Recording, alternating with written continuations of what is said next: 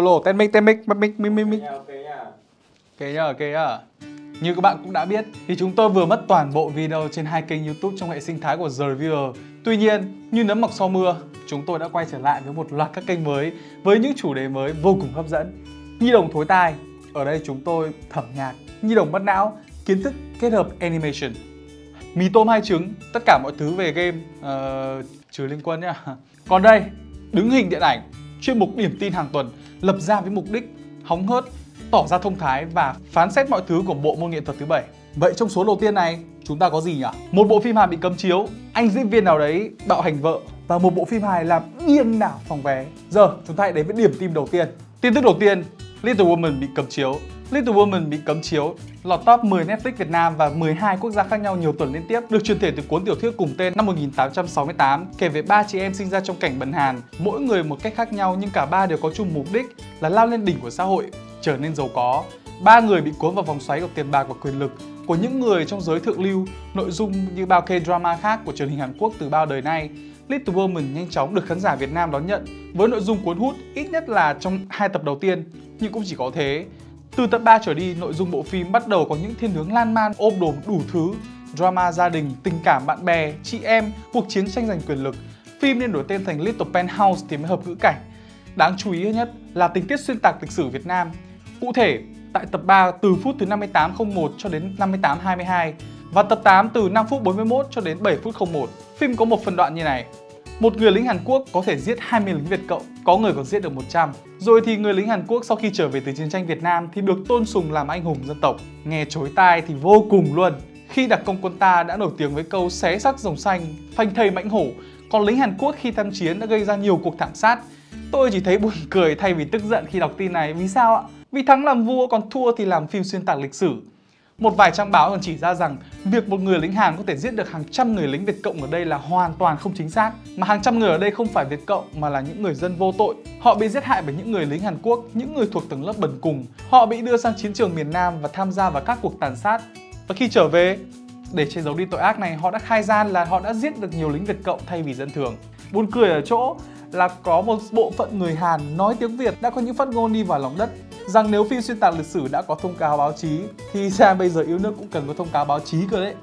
Ngoài ra, một bộ phận fan hâm mộ của bộ phim cũng không hề tỏ ra kém cạnh với vô số phát ngôn tẩm đá, tẩm đồ như gọi người tẩy chay là chạy theo bú phim và làm quá vấn đề Thôi, thôi, thôi, thôi, thôi, thôi, đừng làm cái câu ý kiến cá nhân ra làm bình phong nữa. Ý kiến cá nhân nhưng nó sai rành rành ra thì cũng vứt. Bỏ qua cái mác của một bộ phim truyền thể từ tiểu thuyết nổi tiếng. Thì Little Woman bản Hàn có nội dung hoàn toàn không có gì mới. Không muốn nói là quá cũ.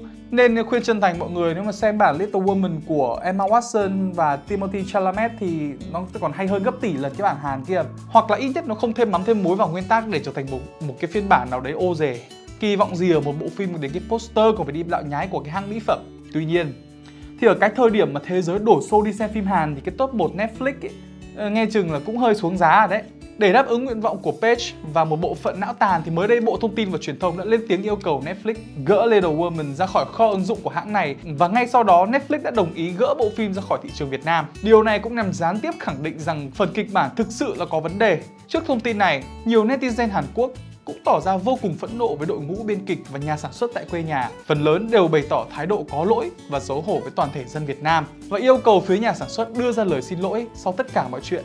Mặc dù bộ phim đã được gỡ khỏi thị trường Việt Nam, tuy nhiên, theo tôi thấy, nên gỡ hoàn toàn phim ra khỏi nền tảng để người xem của tất cả các đất nước khác không có một cái nhìn sai lệch về Việt Nam. Và theo như thông tin chúng tôi vừa cập nhật, thì trong hai tập cuối, lính Hàn Quốc cũng đã tự nhận mình là lính đánh thuê cho Mỹ rồi mọi người ạ. Ngoài những bộ phận mù quáng vẫn có những con người tỉnh táo, thẳng thừng tẩy chay những thành phần ăn không nói có với lịch sử Việt Nam. Với tuyên bố mất idol không chết, mất nước thì chết không có chỗ trôn.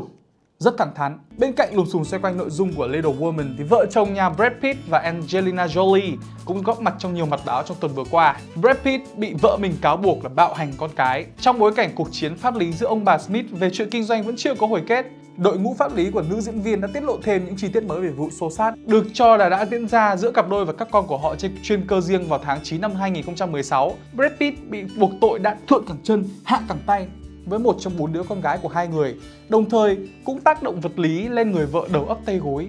Sau sự việc trên, người hâm mộ lục lại phát ngôn của anh trước đây. Đàn ông ấy mà đánh vợ chỉ Mặc váy ơi! Ờ, và anh tôi mặc váy thật. Không có gì là không thể xảy ra trong thế giới showbiz cho dù là Âu hay Á. Khi một người được mệnh danh là đẹp nhất thế giới cũng có thể nhẫn tâm phóng uế lên giường của người bạn đời chung sống bao năm tứ đại lưu lượng người thì đi tù người thì mua dâm chuẩn bị vào tù thì một nam tài tử điển trai lúc nào cũng có thể xuất hiện với hình tượng là một quý ông hoàn toàn có thể dương nắm đấm lên mặt cho vợ mình tôi xin trích dẫn lại một lần nữa câu nói của nhà hiền triết người Canada trước khi đi tù không có bông tuyết nào là trong sạch đúng vậy chuyện tình nào rồi cũng đến hồi kết, ngọt ngào đến mấy thì cũng tan thành mây nhìn lại hình ảnh của Angelina Jolie và Brad Pitt, cưỡi con xe tay ga đưa em đi chơi xa trên đường phố Hà Nội năm 2006 mà buồn cho một cuộc tình.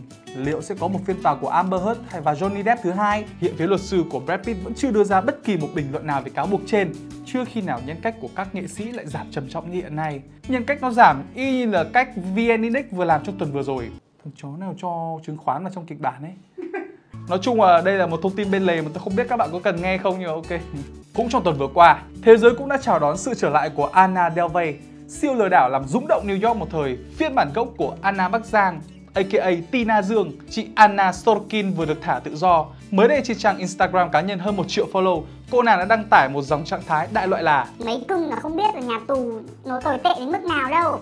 Anna Sorokin, aka Anna Delvey, aka bản gốc của Anna Bắc Giang, đã được thả tự do khỏi cơ sở cải huấn Albion ở ngoại ô New York và hoàn thành một phần bản án 4 đến 15 năm tù giam với tội danh lừa đảo. Nhưng với tài năng ngang ngửa thần lừa lọc Loki, rất có khả năng Anna đã thao túng tâm lý các nhà cầm quyền để được thả tự do sớm hơn. Nhưng đây chỉ là giả tiếp mà tôi vừa nghĩ ra trong lúc xem Inventing Anna. Bộ phim truyền thể từ câu chuyện của cô nàng tiếp tục chiếm trệ trên top thịnh hành của Netflix Việt Nam.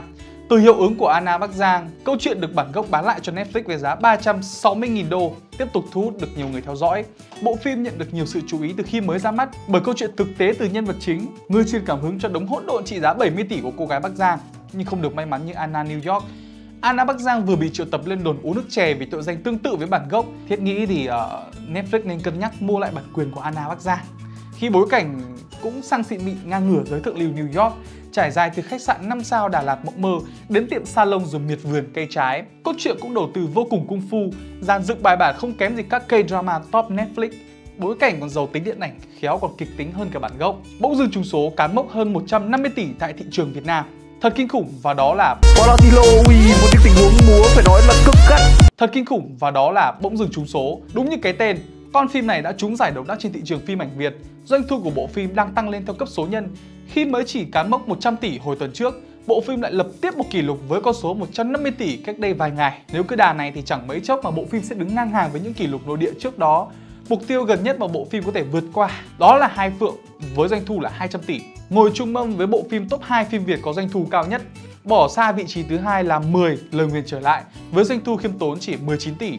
Với số lượng suất chiếu e hẹp à, do bị mấy anh Hàn Quốc à, chiếm gần hết, bộ phim 10 phần 2 có thể lại trở thành bộ phim tiếp theo báo lỗ trong năm nay.